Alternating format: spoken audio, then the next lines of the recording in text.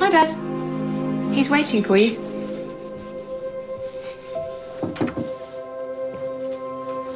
Only read it, Grandad? Again?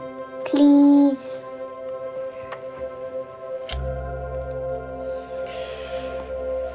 Right then.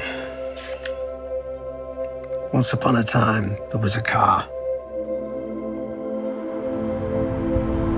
It wasn't a big car, not a fancy car, but a car for the people.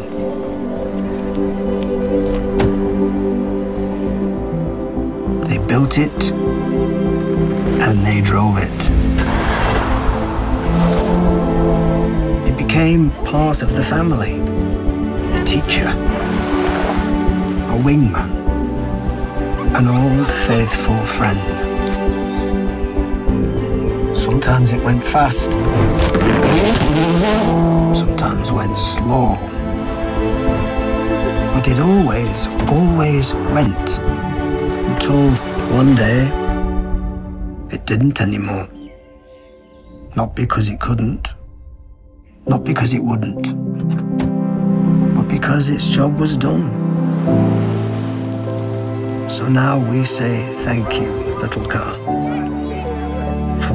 that you've done. Here's to the journey and what's still to come. Is the story finished? Well, this one is, but the next one's just beginning.